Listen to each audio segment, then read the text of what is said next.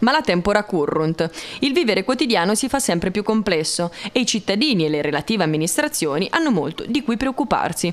Ci sono però questioni che, sebbene non siano al centro dell'interesse collettivo, suscitano comunque difficoltà e disagi. È il caso della zona del Mattatoio a Gubbio in via della Piaggiola, su cui da anni si mette in luce lo stato di degrado. L'immobile, chiuso da oltre 13 anni, è stato dichiarato completamente inagibile nel 2017 e da allora, ma in realtà anche da prima, è divenuto più simile ad una selva che ad un edificio architettonicamente pregiato. Malgrado le continue cicliche segnalazioni circa l'incuria più totale della struttura, nessun intervento è mai stato previsto e programmato. I residenti della zona sono oggi più che mai stanchi della situazione, in quanto la scarsa manutenzione del verde dell'area che ha preso il sopravvento fa sì che molti siano i disagi di chi vive in loco. Non sono mancati infatti casi in cui gli abitanti della zona hanno dovuto far fronte alla presenza di animali indesiderati nei pressi dei portoni di casa, episodi che si vanno ad aggiungere alla costante visuale di una vera e propria selva oscura. Fresca fresca d'inizio dei lavori via Marianelli, che dopo anni di attesa ha visto finalmente muoversi qualcosa nel vicoletto di accesso pedonale al centro storico.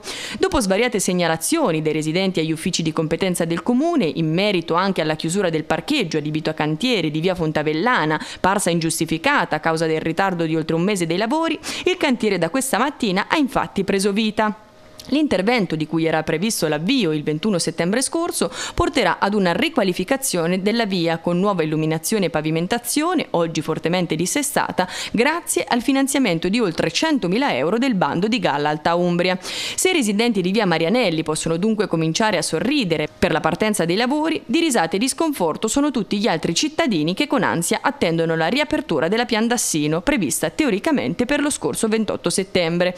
ANAS negli scorsi giorni aveva segnalato di come i lavori fossero stati bloccati a causa di alcune criticità emerse sul percorso e della conseguente ripresa avvenuta circa dieci giorni fa, ma ad un mese esatto dalla scadenza il cantiere è ancora in essere sull'arteria con continui disagi e code per tutti coloro chiamati a utilizzare la vecchia direttrice.